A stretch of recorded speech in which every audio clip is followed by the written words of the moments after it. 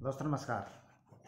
I am Hawa Singh Gaud welcome to my channel आज का हमारा टॉपिक होगा सर्दी के आगमन पर अस्थमे का बढ़ना। जब दोस्तों सर्दी आती है तो अस्थमा बढ़ता है तो क्यों बढ़ता है वो? उसके बचाव क्या है? वो बढ़ता क्यों है? वो इसलिए बढ़ता है कि जब सर्दी आती है या सर्दी जाती है तो हम केयरलेस होते हैं। और कई बार कुछ लोगों को तो शर्म आती है, यार गर्म कपड़े भी किसी ने पहने नहीं, सर्दी में तो ऐसे घूम रहे हो हम भी ऐसे घूमेंगे। लेकिन नहीं, हमने अपने शरीर के अनुसार कपड़ों का प्रयोग करना है। लोग कुछ भी कहें, लोगों का कहना, लोगों का कम तो कहना है तो कुछ भी कहेंगे तो। हम उसको केयर नहीं करना, लोगों ने क्या बोला, क्यों नहीं बोला। लोग तो बोलते रहेंगे, हमने अपना शरीर देखना है। तो गर्म कपड़ों का प्रयोग करना है। मफलर, टोपी या जो भी। अगर आप इनका प्रयोग नहीं करेंगे तो आपको ठंड जल्दी लग जाएगी और आपकी जो श्वास नली में जो है सूजन आ जाएगी। सूजन आने से आपको सांस लेने में दिक्कत आएगी। फिर आपको डॉक्टर के पास जाना पड़ेगा। ये हर सर्दी में होता है जो सर्दी आती है। आपने देखना कि मोस्ट ऑफ़ द पीपल्स जो है, जो अस्थमे के रोगी हैं, वो हॉस्पिटल भर देते हैं। आप नवंबर, दिसंबर, नवंबर और दिसंबर फ़र्स्ट वीक में जो है, आप देखना बहुत सारे ऐसे मरीज़ होंगे कि जो वहाँ मतलब अस्पताल जाते हैं। वो क्यों जाते हैं? वो केयर नहीं करते। तो इसमें केयर करना है। अगर ऐसा है कि भाई आपको अगर आपके पास पैसा अच्छा है तो सर्दी सर्दी जो है, एक दो महीना जो है, दक्षिण भारत में लगा के आ जाओ।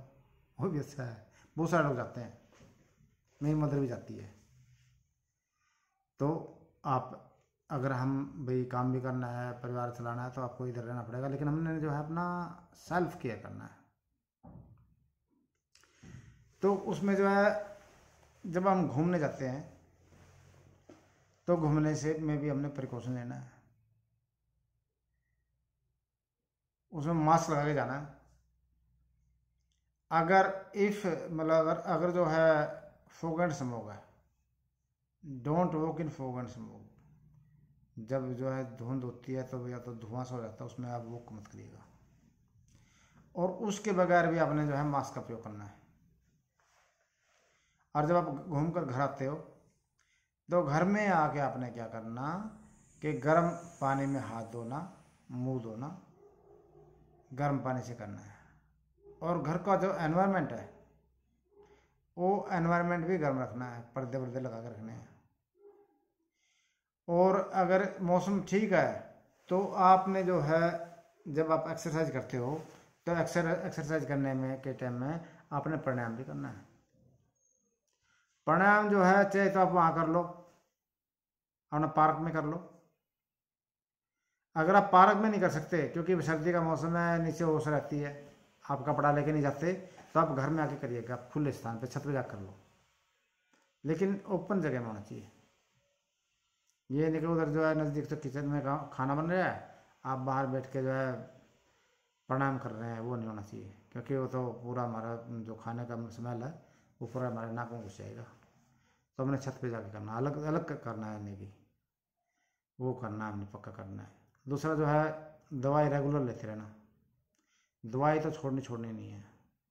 जो मरीज़ हैं, और जो नए मरीज़ हैं, जिसको सिम्टम्स नज़र आ रहे हैं, क्योंकि इन सारों में सिम्टम्स बहुत जल्दी होते हैं। तो इसमें जो आपने डॉक्टर से चेकअप कराना डॉक्टर की सलाह लेनी है, और अपना दवाई का प्रयोग बिल्कुल केयर केयरलेस नहीं होना। पक्का अपने इसका केयर करना है, दोस्तों। और बाकी दवाई ठीक टाइम पर लेते रहना, है? बाकी हम बाकी जो बच्चे आपको अगली वीडियो में बताएँगे। Thanks thanks lot God bless you